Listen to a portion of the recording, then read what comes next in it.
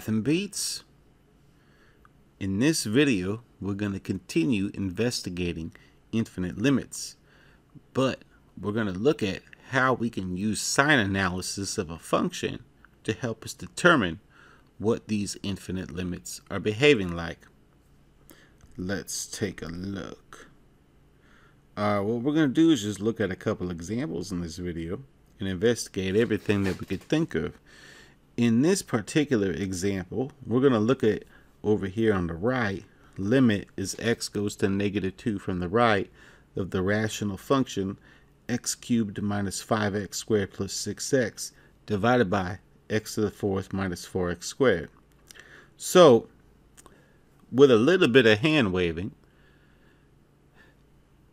because in the future, not that far from here, when we talk about the concept of continuity, we're going to investigate what's called the intermediate value theorem.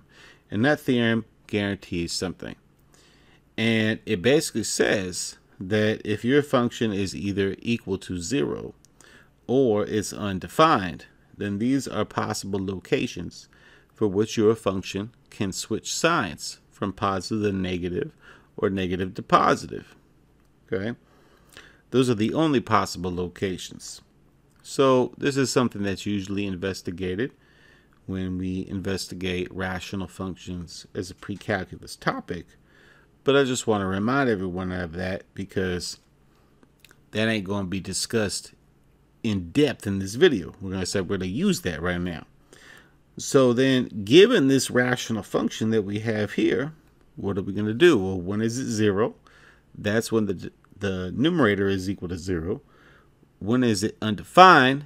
Well, that would be when the denominator is equal to 0. So we want to find all the zeros of the numerator and denominator. And even furthermore, we'd like to, if possible, find the factorization of this entire rational function that we've been given. So we start by saying, well, let's try to factor x cubed minus 5x squared plus 6x. Notice common factor of x, take that out. We're left with x squared minus 5x plus 6. And then notice we can factor that further because this is going to be x times x minus 3 times the x minus 2. So in fact, if that whole thing is equal to 0, well then x would have to be 0, x would have to be 3, or x would have to be 2. So that takes care of the numerator. Now what about the denominator? Well, we got an x to the fourth minus 4x squared. In this case, another polynomial, we can factor out the x squared and be left with x squared minus 4. Well, x squared minus 4 is the difference of two squares, so this is the same as x squared times x minus 2 times x plus 2. And there's our factorization, but if we wanted to ask when that's equal to 0, well, then that would mean x is 0, x is 2, or x is negative 2. So we see here all the different zeros that make the numerator or denominator equal to 0. And hence those are the different locations in which we call partition numbers for which the function could change signs. Doesn't mean it's gonna, just means it could. So then, in general, we could rewrite this rational function x cubed minus 5x squared plus 6x divided by x to the fourth minus 4x squared. Well, we just factored the numerator and denominator here. So what is it? Well, it's the same as x times x minus 3 times x minus 2. And then all of that divided by x squared times x minus 2 times x plus 2. And so notice we got a few common factors. And hence, if you remember how this all works, if I reduce the common factors, then it's get rid of these x minus 2 factors, get rid of one of the x factors, but still left with one of the x's on the bottom. And this gives us x minus 3 divided by x times x plus 2 if x is not equal to 2. Because, of course, we're still left with the x in the denominator as a factor. It still makes it undefined. So the whole purpose of this is that, well, we're trying to investigate the limit as x goes to negative 2. The x is equal to negative 2 is the value of x that makes the denominator 0 regardless whether we simplify or not. And what that's indicating is that there's a potential vertical asymptote at this location. Notice as x goes to negative 2, regardless of the direction, the numerator non-zero. And so definitely there's going to be some type of vertical asymptote at this location of x is negative 2. The question is just what's his behavior there, in particular as x goes to negative 2 from the right. And so I'm going to draw a little number line here. Down here, values of x. Down here, well, if I'm calling this function up here, let's just call it f of x. Then these are the output values of f. Okay. So what I'm in particular interested in is the location of x is negative 2. But when I use my sample locations, I don't want to pick them really too far away because I got to note that at x0, the function is undefined. And at x is 3, the function is 0. And if we want to throw it in because there's that removable discontinuity at x is 2, somewhere over here x is 2, we're also undefined, right? And so at x is negative 2, we also know we're undefined. And thus, I want to look at locations close to negative 2 from the left and the right. In this case, we are focused on from the right, so that's what we'll do. What's going on here x is negative 2? What's going on there? Well, let's pick a, a point. I mean, somewhere in the interval that's relatively close by is x is negative 1, right? So if I plug in x is negative 1 into the function, then my function at negative 1 is, well, remember, here's my function right up there, right? x cubed minus 5x squared plus 6x divided by x to the fourth minus 4x squared.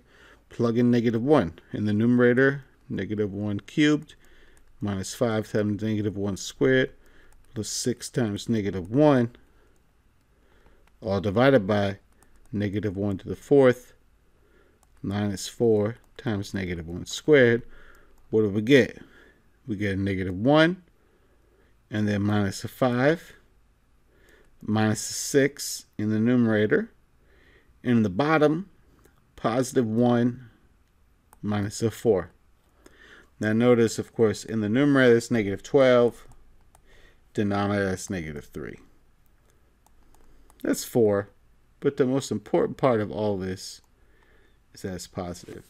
So what we're saying is, okay, look, I just picked a value of x to the right of negative 2 that is relatively close by, but I know my function can't change signs between those two values of negative 2 and negative 1. The only potential other spot I could change signs, first of all, to the right of negative 2 is 0. But I don't care about that right now because I'm investigating the behavior of this function as x goes to negative 2 from the right. So I can pick any value in the interval from negative 2 to 0. And it's going to obtain the same result. And that is this function going to be positive. Bigger than 0. Positive, positive, positive. You say, okay, function is positive. As we get close to negative 2 from the right, my function is positive, but I know that this function is undefined. And furthermore, based on the other videos we looked at, as x gets close to negative 2 from the right, right, the function, I guess we're calling it f of x here, is getting very very large. Why? Because if I pick a value of x close to negative 2 on the right hand side of it, we just saw it has to be positive, right? Moreover, the denominator is getting extremely close to 0.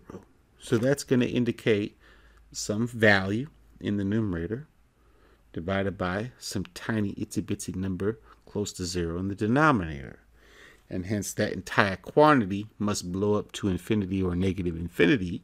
But because it has to be positive here, it's blowing up to infinity. And hence the whole goal of this problem is to investigate the behavior of this function as x gets close to negative 2 from the right. And hence, it's going to infinity. Thus, limit as x goes to negative 2 from the right of our function, which is x cubed minus 5x squared plus 6x divided by x to the fourth minus 4x squared. Ah, that's going to be infinity. And thus, that's how we can use sign analysis to help us in figuring out limits involving infinity or negative infinity. Okay, so moving on to the next example, this will be the final example of the video. We're given a new function here, to call it f of x. And this function, x squared minus 4x plus 3 divided by x squared minus 1, another rational function. And so since we are trying to find in particular the vertical asymptotes for this function, and obviously this function f of x is not a piecewise defined function, then we know that the only possible vertical asymptotes are going to occur for which the denominator is zero. In other words, when the function is undefined. However, we got to make sure that it's not a removable discontinuity or a hole at the particular values of x, which make the denominator zero. So what we're going to do is we're going to take this function and figure out where's the numerator zero, where's the denominator zero. Okay. Let's just rewrite it. x squared minus 4x plus 3. That's the same thing as x minus a 3 times x minus a 1 divided by x minus a 1 times x plus a 1. Just doing the factoring. And we notice, ah, look, x minus 1, x minus 1, they cancel.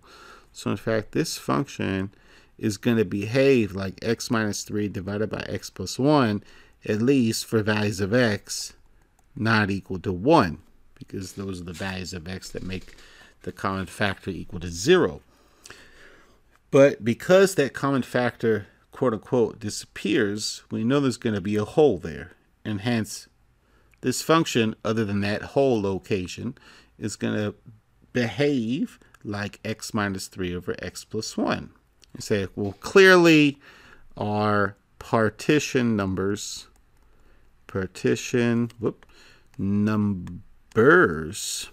oh boy, numbers are x is 3 and x is negative 1. Those are the values of x that make the numerator deny 0 and we're disregarding the x is equal to 1 so technically x is 1 is also a partition number because it kind of makes the numerator and denominator zero simultaneously.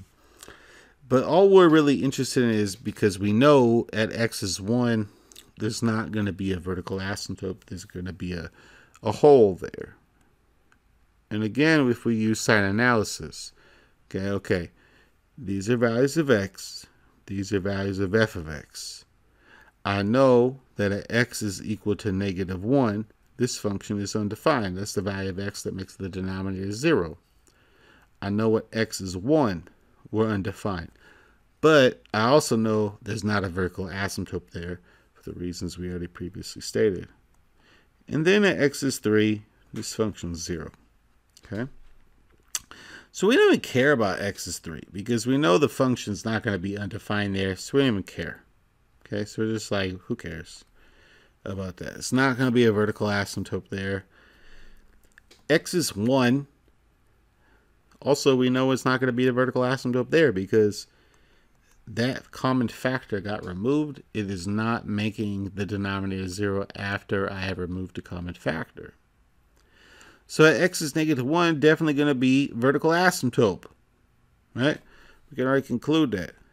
x is negative 1 is a vertical asymptote for f of x. Why? Because as we're about to see, as x gets close to negative 1 either from the right or the left, this function blows up to either positive or negative infinity. Now, again, performing sign analysis, pick a number real close to negative 1 from the right, pick a number right in here, somewhere in between negative 1 and 1. Well, 0 actually is between the two's values. So if x is 0, then f is going to be negative because up here, if I plug in x is 0, what do we get? Negative 3 over 1, which is negative. So it's no, it's negative over here. And in fact, if I plug in x is, I don't know, negative, let's just use 2. You could use any negative number over there. But if I plug in x is negative 2, then again up there, if x is negative 2, then we get negative 5 over negative 1. That's positive, and hence f is positive. So all this showing is that, guess what? What's going on at negative 1 for x?